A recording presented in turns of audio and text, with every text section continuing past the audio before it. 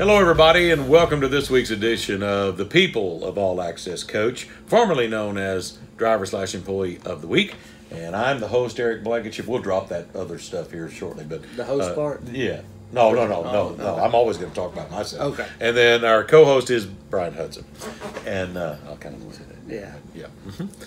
You ever notice that when like uh, announcers at, at rival schools and stuff, they'll go, uh, and and their starting lineup is number seven, uh, Billy Jim, and number thirty-three, Archie Humphrey. Yeah. At forward, number five, he still lives with his mother, Carlos Boozer.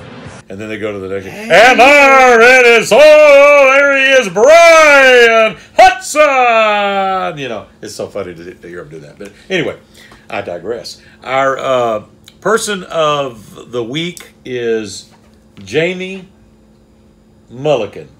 Mulligan. Mu- Mullican.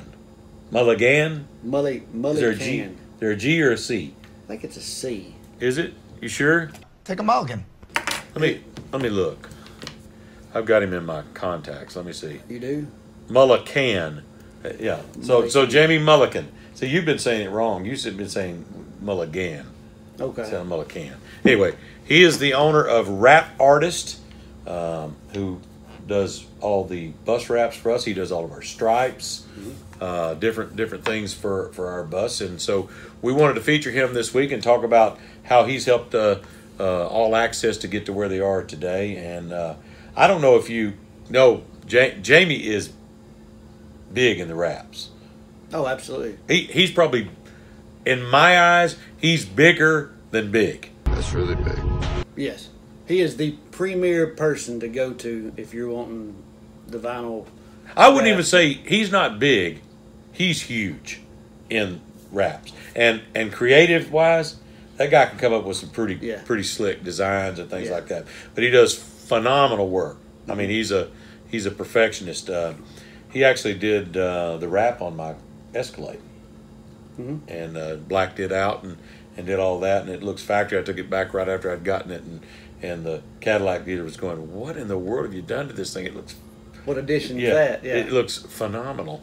And uh, I said, well, my buddy Jamie Mulligan over at Wrap Artist uh, did it, and he did it in a big way.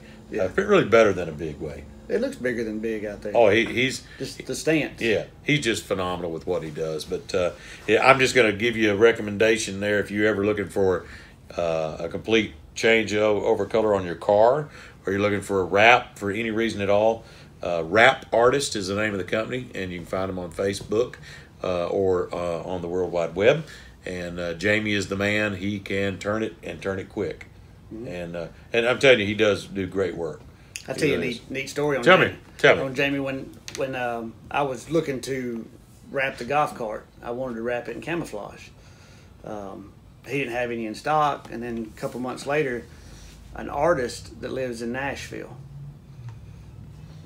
wanted his home yep, wrapped, yep. and he wanted it to line up each panel.